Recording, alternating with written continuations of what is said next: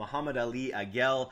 Mohamed Ali Aguel is I don't even know I don't know exactly what he does. I just know he just churns out e-commerce dollars, builds businesses. I know he's doing he's building info products, he's building a SaaS and he just still legit slams up big numbers all the time on on all sorts of different e-commerce stores. So Absolutely. let's talk to the people out there who are just running traffic to their stores. What are the stages of what we call single product funnels? Now, I because I, I, there's there's there's multiple you know I'm sure you have a whole protocol for for how for how you do this basically. The bottom line is you should always treat your store as a funnel, right?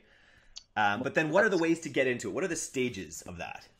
So basically, for people who are like, let's say they own storefront, whether on Shopify, WooCommerce, or whatever, mainly Shopify, uh, the idea is if you have a working product, you may want to move it to an actual sales funnel. When I say sales funnels, I'm talking like pure direct response funnels, landing pages, pre-sales, uh, one-page checkout, uh, one-click upsell, and so on and so forth.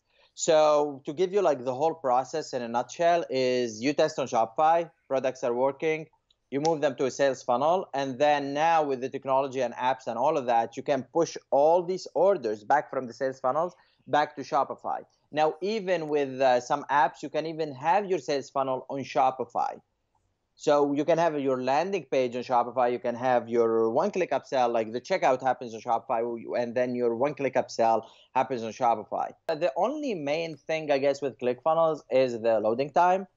It, it sucks. It's just you have to sacrifice. It's such an easy platform to use. I like, know. It's, it's it's a beautiful platform to use for usability, but that's inherently going to have a lot of code bloat, right? Exactly. So it's it's super easy to build a funnel for ecom, and you know, like the changes, it's literally drag and drop, which is amazing. But then the load time, especially if you're pushing like uh, paid ads, you want that thing as fast as you can. And now even Facebook is uh, like they will they are penalizing people with heavy load time. I think over three seconds load time, and they start like uh, increasing your CPM. So uh, so basically, after we build it on ClickFunnels, we move to the first stage where we move like the first page, at least the first page, that one that loads from the ad, we move it to hard coded. So it loads like in one, probably one second, 1.5, right? And we use like all of the tips and tricks of uh, of I guess fast loading, you know, optimizing the images, the videos, the GIFs, lazy loading, etc., etc.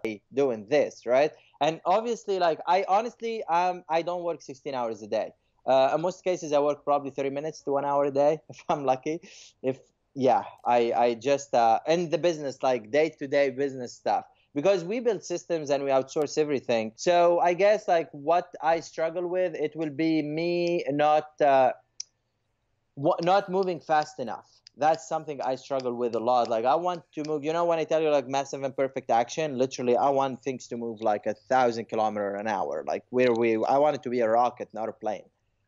Makes we want to you know, reach at that outer space. That's life is a bunch of experiences, and you want to build as many of them as you can, and that's how you grow. Right. man, it's gonna be fun. All right, brother. Enjoy, Thank you, everyone. Uh... Thank you, Eric, for having me. Peace. Peace.